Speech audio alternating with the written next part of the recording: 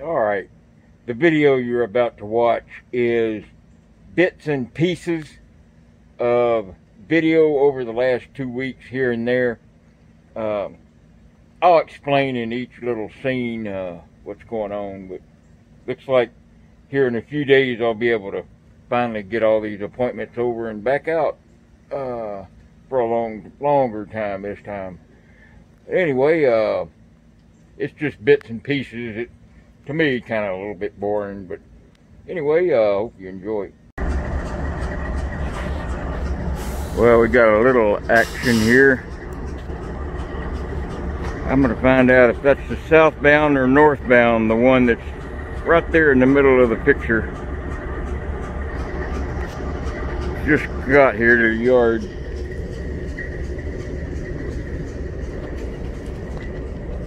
Yeah, he's on the main. There may be somebody up in there.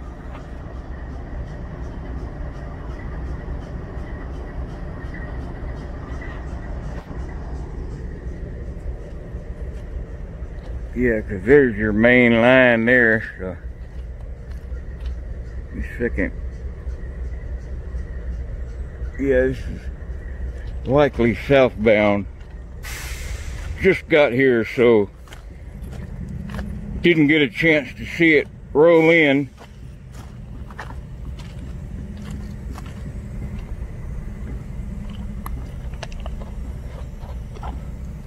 Yeah, I figured I'd get out and try to do a video. Yeah, at 1 o'clock today I have my ultrasound. Then on the 28th, I go in for the results on that. And then on the 30th is my final appointment for everything.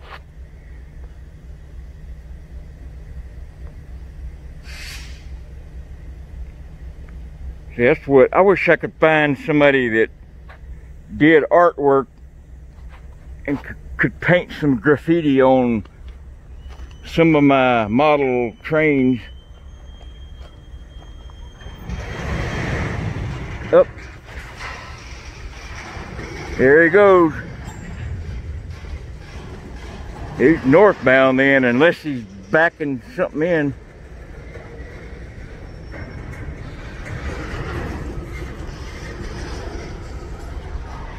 I can't, maybe I can see if somebody's in the cab of that.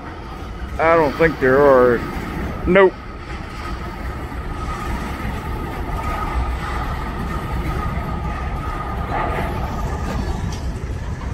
Well, that's empty. You can hear it echoing.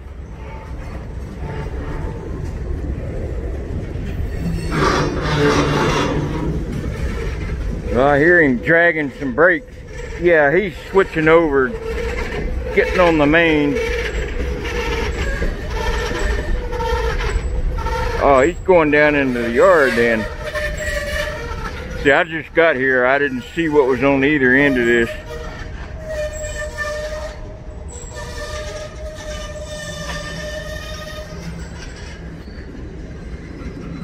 Definitely gonna be going on north to see them box cars there.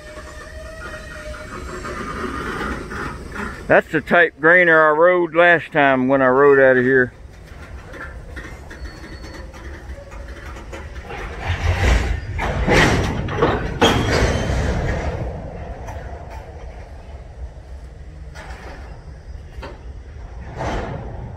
Yeah, that one's loaded.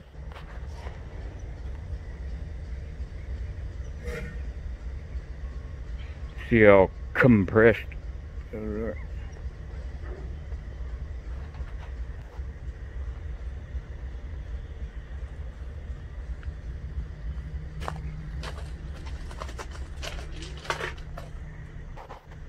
Yeah, see that piston?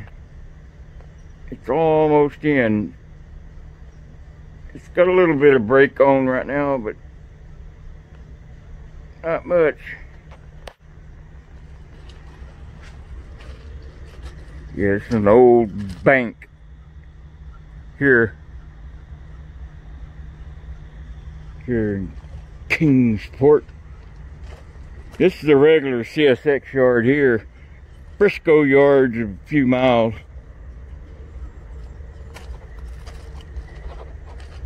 Yep. After my ultrasound today, uh, believe I'm going to take a trip I definitely have to go to that appointment on the 28th. Because if I don't keep these appointments, they just keep rescheduling them. That just buries me even deeper. Plus, getting it all done, I'll be able to know more about what's going on and uh, the situation medically anyway. But other than that, I've been doing pretty good, feeling good. Yeah, potash stuff. You see a lot of that up northwest.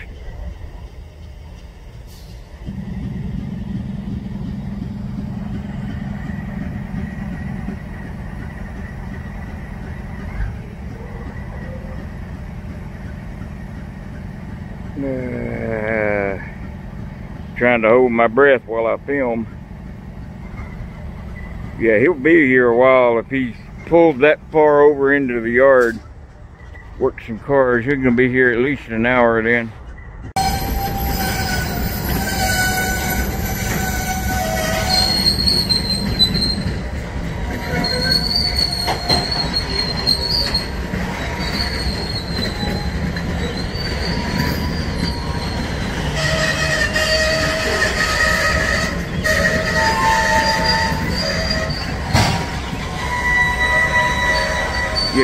He'll likely do is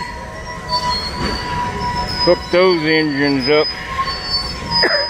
on the front up here when he gets ready to go. He's gonna have to have more power than that to get across the Appalachians. I don't know why my camera is not focusing.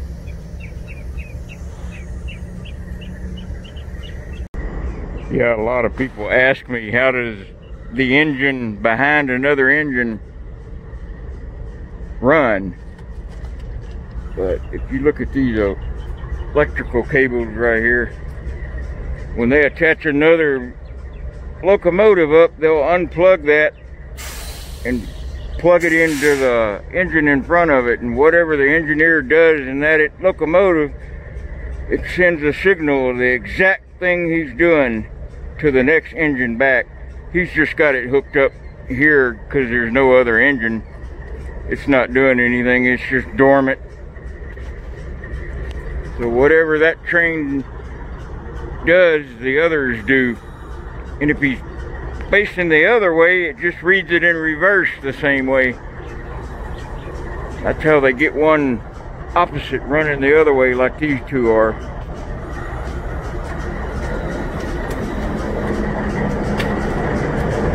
Kind of show you what I mean.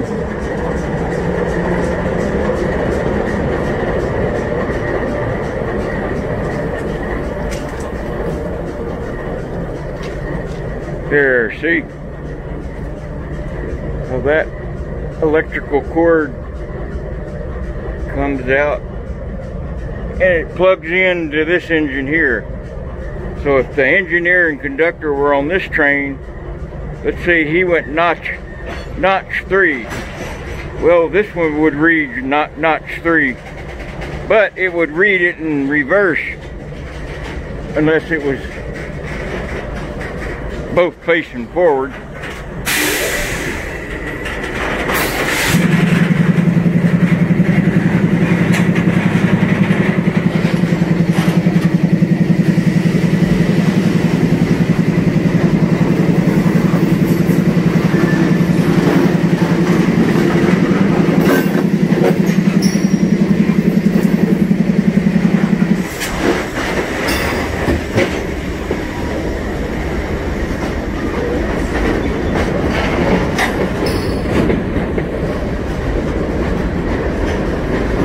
Smell that pine wood.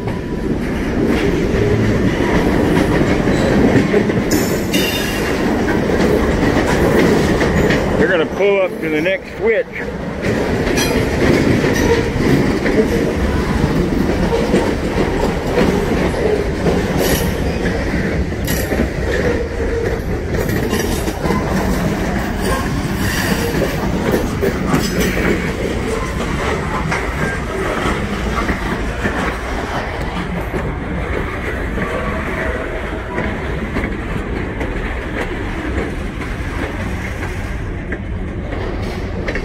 Potash. I've heard it pronounced two ways, potash and potash. It's like a powdered mineral. There's another good ride right there.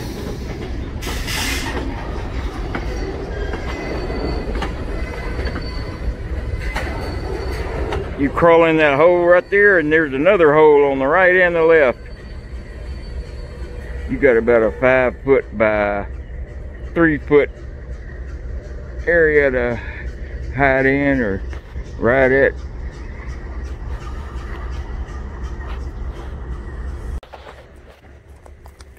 Well, I guess I should have brought my key, but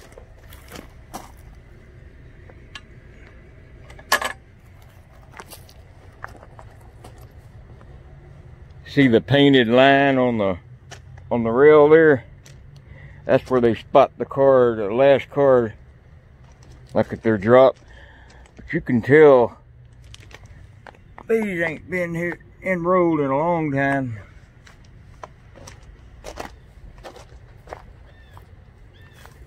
We've got a bunch of firewood back there kindling. There's a good camp spot up there on that wall, all concrete back in there.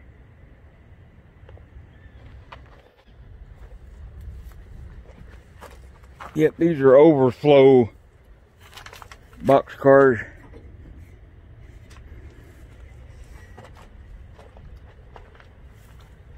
Yep. Here not long I'm gonna make make a video show how to how you open those empty box cars that have the plug door like these.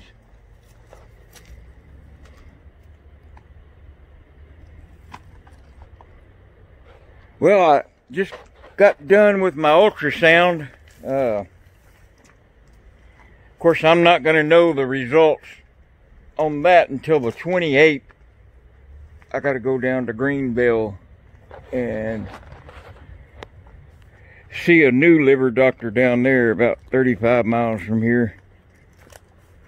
Uh, then I'll be updated on my health situation then.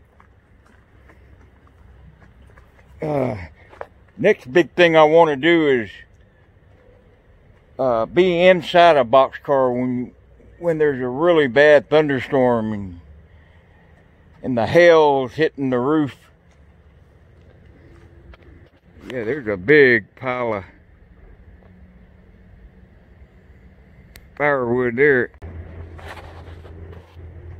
Yeah, still really not sure what this building is here.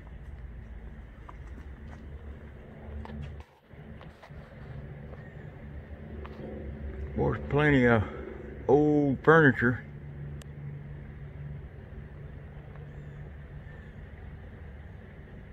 But all the wheels have taken off of most of these.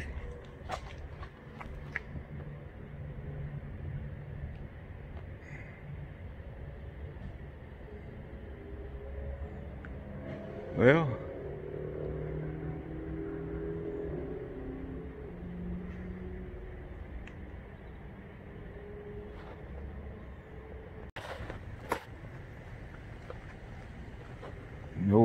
scale, truck scale.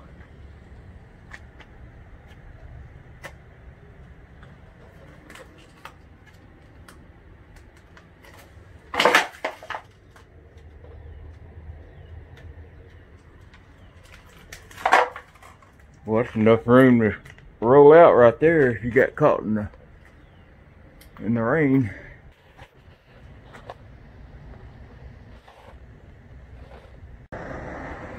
Yeah, today I'm in Bristol.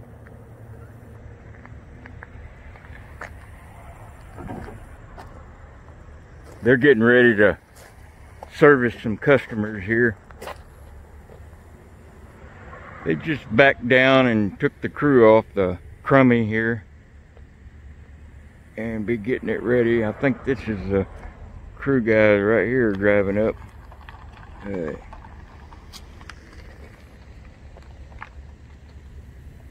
They'll be servicing here in a bit.